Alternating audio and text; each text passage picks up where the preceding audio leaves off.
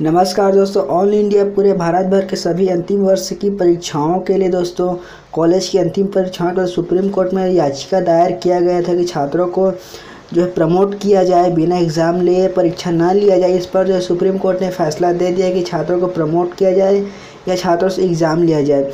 इस पर दोस्तों, इन सब के बारे में जानकारी आपको डिटेल से मिल जाएगी। इस वीडियो को आपके सभी मित्र तक शेयर करें और यह हर राज्य के छात्रों के लिए, अंतिम वर्ष के छात्रों के लिए है। तो इस वीडियो को आपको सभी मित्र तक जितना हो सके उतना शेयर करें। कॉलेज परीक्षाओं पर बड़ा फैसला आ गया है। सुप्रीम कोर्ट ने कहा है, बिना परीक्षा प्रमोट नहीं होंगे। फाइनल ईयर के स्टूडेंट अब छः राज्यों ने अलग रिव्यू पिटीशन भी लगाई है। दोस्तों छः राज्यों ने अलग से पिटीशन लगा दिए गए हैं। फिर से लेकिन दोस्तों, सुप्रीम कोर्ट का कहना है कि छात्रों को बिना परीक्षा को प्रमोट नहीं किया जाए, जिसमें दोस्तों, अब देखते हैं कि कॉलेज के अंतिम वर्ष की परीक्षाओं को 30 सितंबर से पहले परीक्षाएँ देनी होगी। आपदा प्रबंधन अधिनियम के तहत राज्य चाहे तो डेडलाइन बढ़ाने का फैसला ले सकते हैं, लेकिन पहले यूजीसी सराह लें।